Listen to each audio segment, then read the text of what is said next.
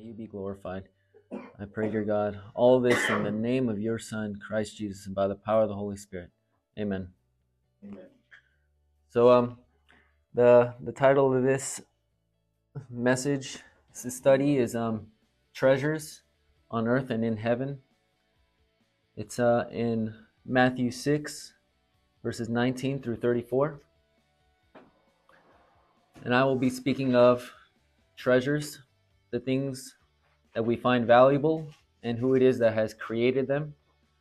Where Jesus commands that we do not store them, and why where he commands us to store them, and ultimately what we can do to start storing them in the right place. So, um, Dwayne, yeah, would you like to read Matthew 6? Uh, he's still looking for it. would you like to read Matthew 6, 19 through 34? 19 through 34? Yeah. Um, Don't store up for yourselves treasures on earth, where moth and rust destroys and where thieves break in and steal. But store up for yourselves the treasures in heaven, where the, neither moth nor rust destroys, and whatever doesn't break in and steal. For where your treasure is, there your heart will also be.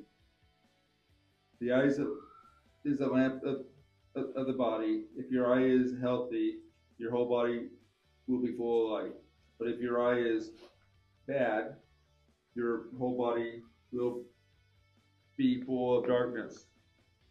So if the uh, light within you is darkness, how deep is the uh, darkness?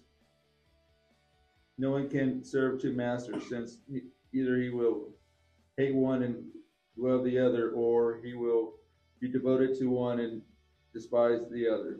You cannot serve both God and money. That, that's good right there. Um, so, who is it that has created everything that we treasure or find valuable?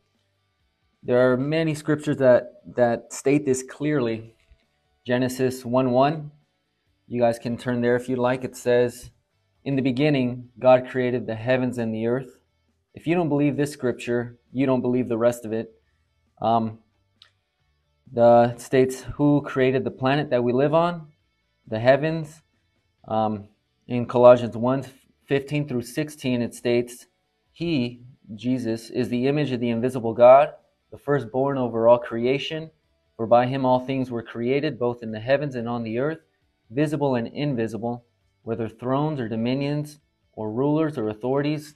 All things have been created through him and for him. So, yes, God is a creator of everything, starting from things that are invisible. That can be things like time, uh, demons, uh, angels, um, to the planet that we live on, visible, that that on which gives no human any excuse for not believing that He exists. Romans 1:18. Um, starting from your brain or to the relationships that you have with loved ones such as parents siblings and or wives uh, in john 1 1 through 3 it states uh, in the beginning was the word and the word was with god and the word was god he was with god in the beginning and through him all things were made without him nothing was made that has been made that is stating that is speaking of jesus as well another great reference to God using Jesus Christ to make everything or the things we find valuable through Him. Um, yeah, and clothing, food, relationships, animals, work, the work we have, our bodies, so much more. Everything that we find valuable. They're, they're treasures, just everything that God has made. Yeah, God is the creator of everything and uh, visible and invisible. And because of that, there is somewhere that God does not want you to store these treasures. So where does where does God command us not to store these treasures? On earth. But you know, we go back, we, we go and ask ourselves this question question. Uh, didn't God create the earth in the book? Um, and over and over again, he states, um, while he's creating the earth in Genesis, and he saw that it was good. While he's creating earth throughout those six days, he, he's stating over and over again, and he saw that it was good. God said, Let there be light, and there was light, and he saw that it was good. Seas and dry land, and he saw that it was good. Land producing vegetation, and he saw that it was good. Two great lights to govern the stars, the sun and the moon, and he saw that it was good. so the, these things are good, but God, for some reason, is telling us not to store it on the earth. He thought it was good, but he's telling us not to store here. So it was all very good, as the word describes, but it was all made and intended to be used for his glory. But then the first man, Adam, and his wife, Eve, revealed about themselves their sinful nature and passed that down to us, cursing this planet and men and women along with it. When the woman saw that the fruit of the tree was good for food and pleasing to the eye, and also desirable for gaining wisdom, she took some of it and ate it. She also gave some to her husband who was with her, and he ate it. Then the eyes of both of them were opened, and they realized they were naked. So they sewed fig leaves together and made coverings for themselves. So that was the first sin right there. They um Adam disobeyed God by listening to his wife. She disobeyed her husband by listening to the serpent, and God cursed both the serpent, God, no, all three of them. God cursed the serpent, God cursed uh, the, the woman, God cursed the man, and God cursed the earth. And now we're, the, the, the land isn't so, the earth isn't so good anymore says in Matthew 26, 24, Heaven and earth will pass away, but my words will not pass away. In Psalms 102, 25 through 26, of you, o, of old you laid the foundation of the earth, and the heavens are the work of your hands. They will perish, but you will remain. They will all wear out like a garment. You will change them like a robe, and they will pass away. Psalms 102, 25 through 26. So this place is not one to place your treasures in anymore. When one is storing all their treasures here, they're using the items God created through and for his sons, like it for his son, excuse me, Jesus Christ, um, like it states in Colossians 1 15 through 16, for their own sinful gratification because of a, a lack of trust in God our Savior who promises so much. Um, so some examples are um, Matthew 6, 5, and 7. If you guys want to turn there, um, it states, And when you pray, do not be like the hypocrites, for they love to pray standing in the synagogues and on the street corners to be seen by others. Truly I tell you, they have received their reward in full. Do not keep on babbling like pagans, for they think they will be heard because of their many words. So, the ability to communicate with God and pray to Him is a is a treasure in itself. The ability to that that relationship the is a is a a treasure in itself. The ability to it, it's a it's a treasure. The ability to sit down and just speak to Him is a treasure. But people go and instead use it for their own gratification just to get attention and and just to be seen by others. they think they will be heard because of their many words. Another one, when you fast, do not look somber as the hypocrites do. They for they disfigure their faces to show other they are fasting. Truly I tell you, they are, they have received their reward in full. That's the only that's the only reward they're gonna get. The attention. Another one, uh, Matthew 6, 27 through 28. You have heard that it, it was said, You shall not commit adultery. But I tell you, anyone who looks at a woman lustfully has already committed adultery with her in his heart. That treasure, our eyes, are your eyes something that you guys find valuable? Yeah? You wouldn't sell them for a million dollars, right? No. But what do men go doing? They go using them to look at women in a way they shouldn't.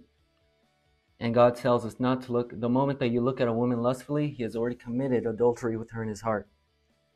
Instead of instead of making a covenant with our eyes, like Job did, to to not look at women. Um, so we need to we need to so the summary of this section god does not want us storing our treasures the things we find valuable such as time money our eyes uh, on the earth or another way to say it with the motive to gratify our own sinful and selfish desires. So where does god want us storing our treasures?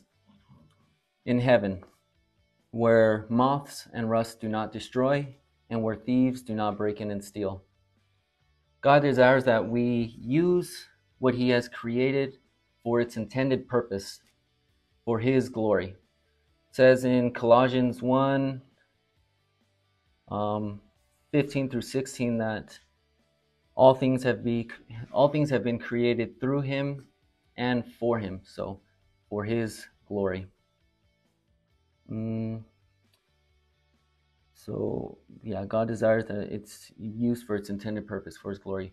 Although some of these things, these items are made of material that can rot and are items that people can steal, money, for example, or your cars, or, um, you know, tools, or uh, just anything like that, your, your body. Um, they when they are being used for the glory of God, the wages that come from them cannot rot, deteriorate, be stolen, and nothing can get in the way of uh, God's promises and, and the wages from that. It, the examples uh, Matthew 6 6, back to prayer. But when you pray, go into your room, close the door, and pray to your Father who is unseen then your Father who sees what is done in secret will reward you. That that uh that reward can't be taken away.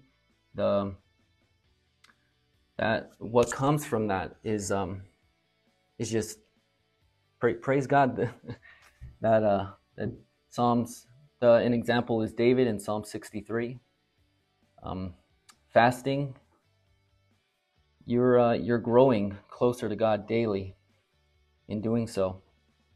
He says in uh, uh, that anything is possible by prayer and fasting.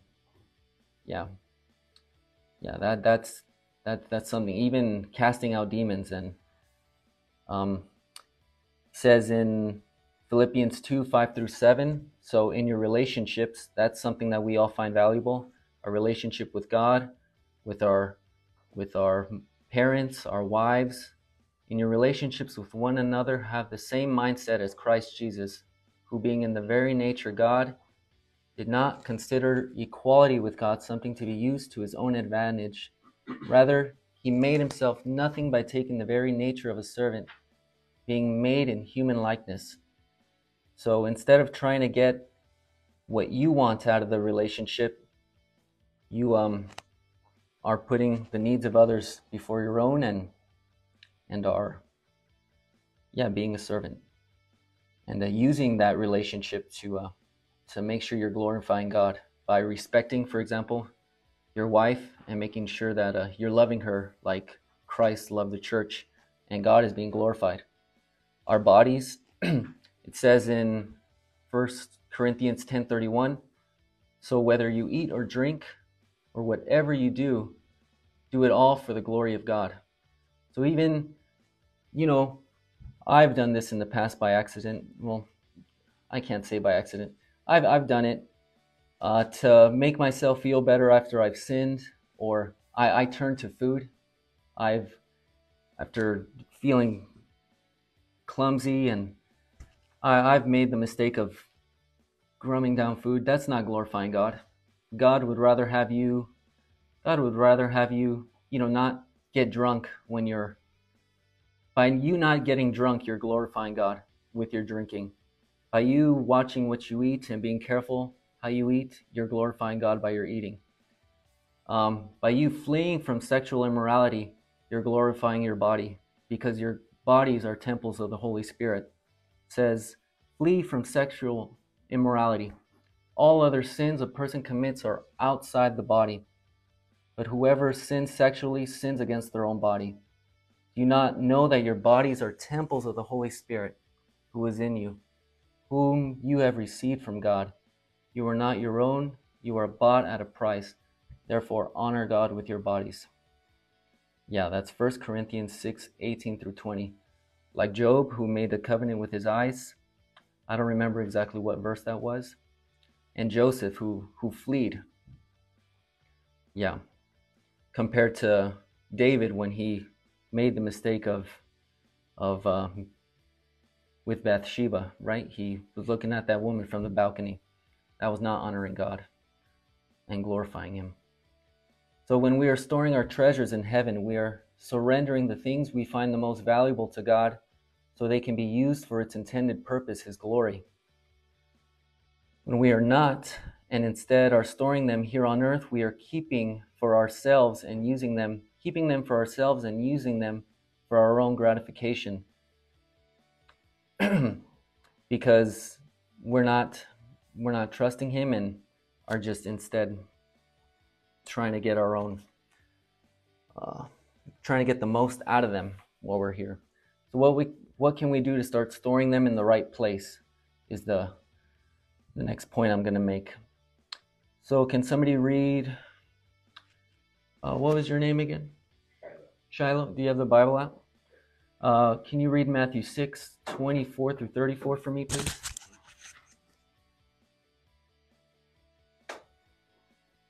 No one can serve two masters.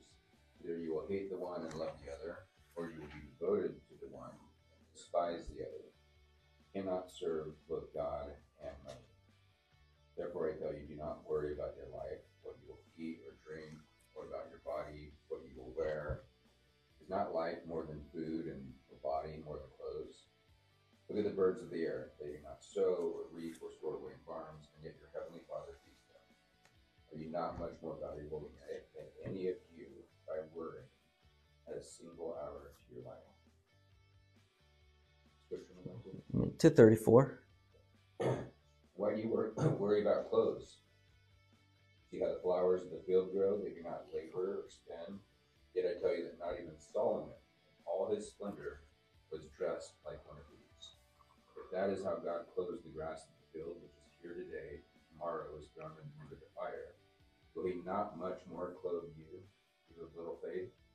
So don't worry, saying, What shall we eat, or what shall we drink, or, or what should we wear? For the pagans run after all these things. Your heavenly Father knows that you need them. But seek first his kingdom and his righteousness, and all these things will be given to you as well. Therefore, do not worry about tomorrow, for tomorrow will worry about itself. Each day has enough trouble, trouble of its own. Yeah. Praise God. so, what can we do to start storing them in the right place? We can stop worrying um, because sin is a lack of trust in God. Ultimately, a lack of trust in God, first off. Um, your life, it, it, it seems like when it says here that therefore do not worry about your life when when we're a sin is ultimately a lack of trust in god and when you don't trust god with your life you're not going to trust him with the treasures that he's blessed us with. You know we're blessed with common grace. Before we're even blessed with salvation we're blessed with air to breathe. We're blessed with with sunlight. We're blessed blessed with uh, the ability to see. And we just take it for granted and if you don't trust him with your life you're not going to trust him with everything he's blessed you with. Money just so much.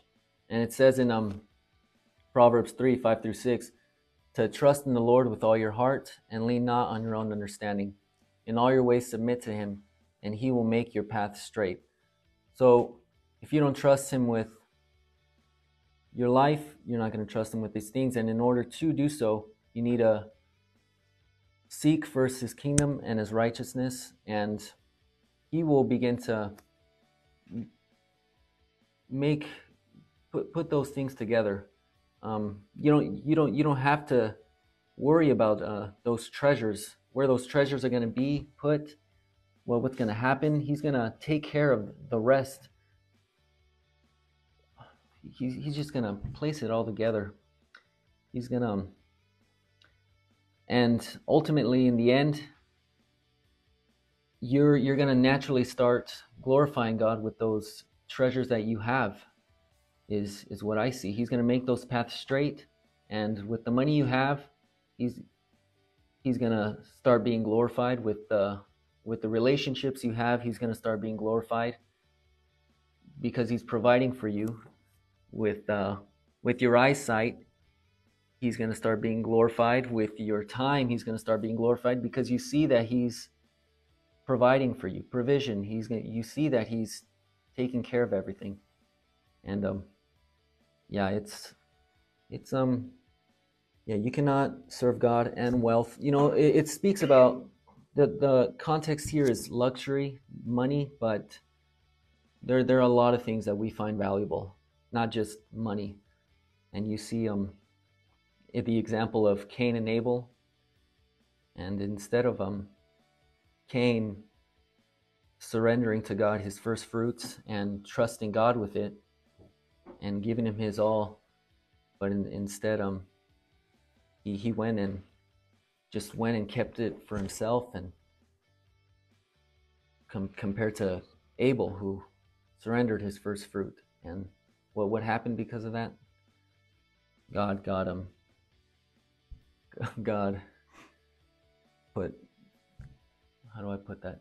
Cain cain was not blessed with salvation. Cain was put to the side. Cain compared to abel who is now in the hall of faith and was blessed with salvation and taken care of.